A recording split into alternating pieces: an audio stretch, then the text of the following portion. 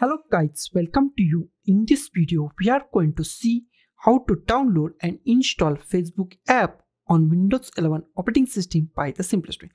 First of all, just go to the any web browser and here just type Facebook and hit enter key on your keyboard. First link is from the facebook.com. Open that link. Here is the Facebook website.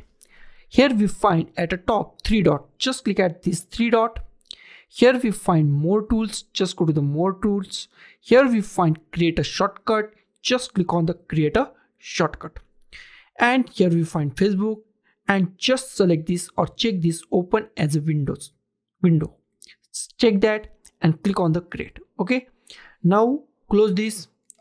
Now just go to the desktop. Here we find shortcut and also we find this shortcut or app start here is also find facebook. Okay so just open it from here or from the start. Okay now just log in at here and just go to the your facebook. Okay and if you want to uninstall it that is very easy. Just go to the, these three dots once again. Here is the three dots. Here we find uninstall facebook. Just click at here. Also clear data from the chrome. Okay facebook. Okay select that and click on the remove and your Facebook app is removed from your Windows 11 operating system. So guys, this is the simplest way to install and uninstall Facebook app on Windows 11 operating system.